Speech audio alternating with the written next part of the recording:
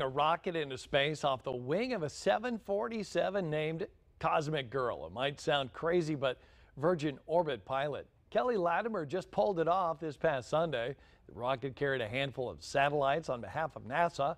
That successful test is a huge accomplishment. It will make it much easier to get satellites into space in the future. And the chief test pilot, Kelly Latimer, joining me now live from Las Cruces, New Mexico.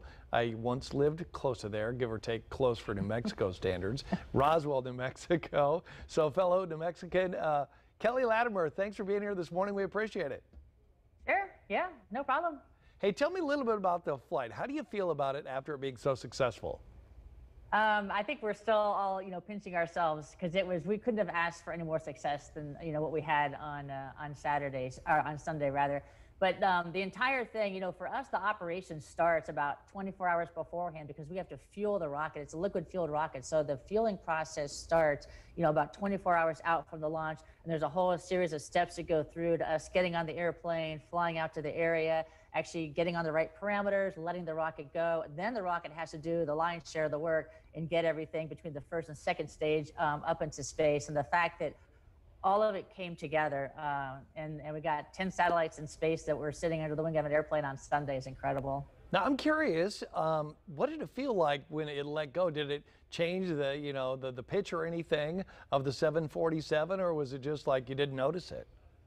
No, we do notice it, and so the, the rocket gives us extra weight on the left wing, and so what we do is we put a little more fuel on the right, so it's not quite left wing heavy, but as soon as the rocket goes, um, we let it go in a, in a fairly high pitch attitude. We take the 747 and pull it up to about just over 30 degrees attitude, which is pretty impressive for a big airplane, and then once the rocket goes, we feel it. Air, we, we feel that the loss of weight, the aircraft naturally rolls to the right, which is actually good for us. We roll to the right, which gives us a little separation. We kind of peel off and let the nose come down. And meanwhile, the rocket drops and goes off and does its thing. Now, some people may be uh, wondering why do this from the wing of a 747. I know the answer, but a lot of people are saying, "Hey, why not just do it from the ground?" But there's a good reason for this, right?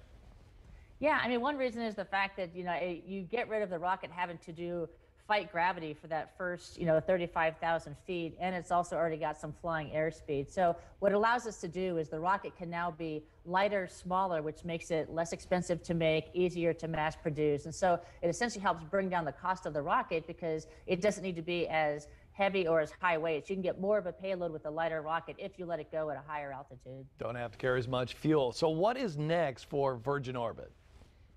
Um, next, so we're going to go through now our schedule of launches um, and, and, work out what comes next. So we're going to get busy. The next rockets are already in the factory being made. We already have a lineup of customers um, that are that are um, going to be you know coming next on the next few launches. And a big thing for us is um, we, we, launched this out of Mojave Spaceport. And another beauty of the 747 is the fact you can now launch worldwide. You could launch your satellite from wherever you want as long as you have a nice long runway. So we're going to move our operation also over the next few years um, to other locations.